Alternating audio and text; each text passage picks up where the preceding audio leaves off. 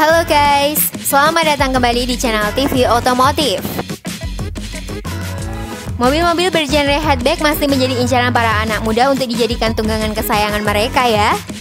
Bagi kalangan muda, mobil merupakan salah satu sarana untuk aktualisasi diri di samping sebagai kendaraan harian guys. Demi menggapai keduanya, model mobil tentunya menjadi bagian penting bagi pembeli kelas ini.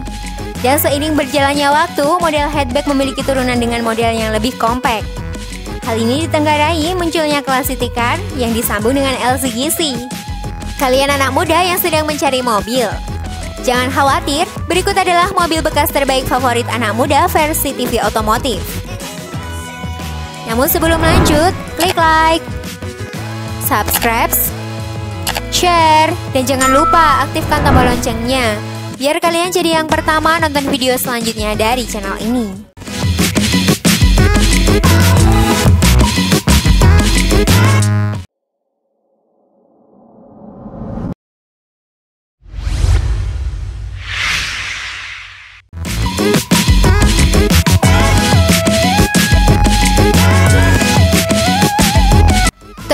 Yaris Yaris memiliki dua generasi mesin. Generasi pertama menggunakan mesin bertipe 1 NZFI berkapasitas 1,5 liter. Dengan keluaran tenaga 107 HP pada 6000 rpm dan torsi 142 Nm di rpm 4200, mesin ini dianggap cukup bandel dan dapat diandalkan dalam berbagai kondisi pengendaraan loh guys. Dengan range tenaga yang relatif sama, mesin Yaris generasi berikutnya menggunakan tipe 2 NRFI. Memiliki tenaga sebesar 107 HP pada 6000 rpm dan torsi 140 di 4200 rpm. Sumber tenaga ini sudah dilengkapi dengan dual VVT-i. Toyota meyakini bahwa teknologi ini memiliki toleransi terbaik antara performa, gas buang, serta konsumsi BBM terbaik. Toyota Yaris keluaran tahun 2006 sampai 2016 beragam tipe ditawarkan dengan range harga 85 hingga 250 juta guys. Bagaimana? Tertarik dengan Toyota Yaris?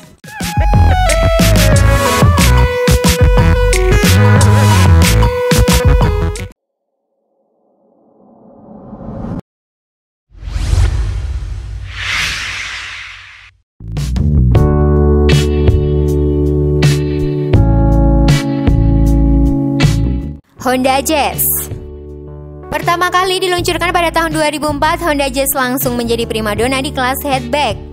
Bentukannya yang modern serta dinamis menjadi daya tarik tersendiri di mata konsumen dan langsung merajai penjualan hatchback. Pada awalnya, Honda menawarkan dua pilihan mesin dengan kapasitas sama, 1,5 liter masing-masing adalah IDSI dan VTT EC. Hal lain yang menarik pada Honda Jazz adalah merupakan salah satu pelopor pengguna transmisi berteknologi continuous variable transmission ya. Beragam keunggulan menyertai teknologi ini di antaranya adalah akselerasi halus serta minim hentakan dan tentunya dapat membuat irit BBM. Namun, pertama keberadaannya transmisi CVT dianggap kurang tangguh dan banyak masalah. Honda Jazz produksi rentang tahun 2005 hingga 2016 dalam beragam tipe ditawarkan dengan harga 82 juta hingga 243 juta rupiah. Bagaimana pendapat kalian mengenai Honda Jazz ini guys?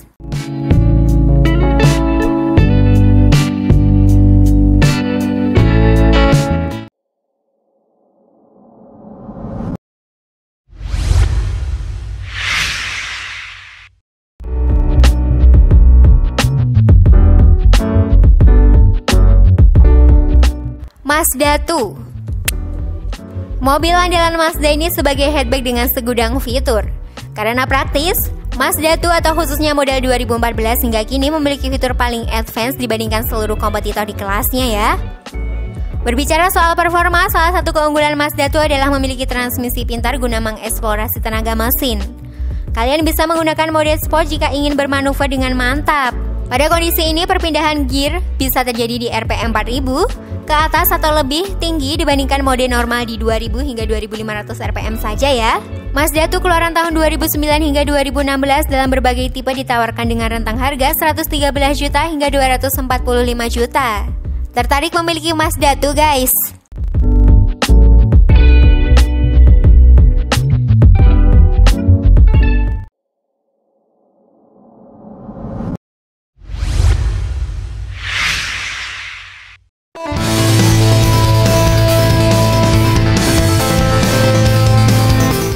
Honda Brio Kendaraan paling populer di kelas city car ini memang menjadi favorit anak muda khususnya kaum hawa ya.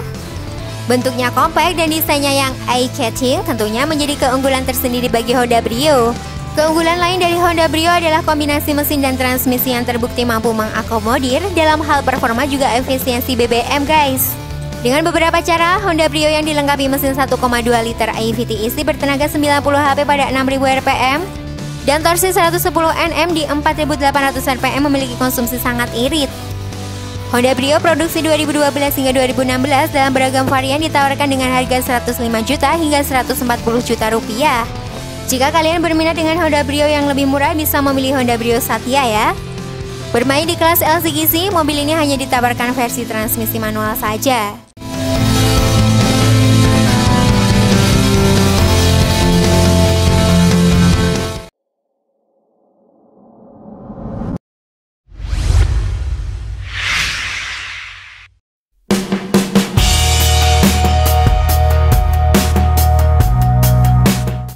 Toyota Agya.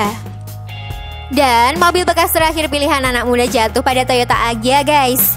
Primadona di kelas LCGC ini diminati oleh konsumen khususnya kaum hawa karena dinilai memiliki finish produk terbaik dibanding para kompetitor di kelasnya. Generasi pertama Toyota Agya dibekali dengan mesin 1 KR VI berkapasitas 1,0 liter. Dan kini Toyota melansir versi mesinnya lebih besar yakni berkapasitas 1,2 liter berkode 3 NRFE. Toyota Agya keluaran 2013 hingga 2016 dalam beragam tipe dibanderol dalam rentang harga 85 juta hingga 112,5 juta rupiah.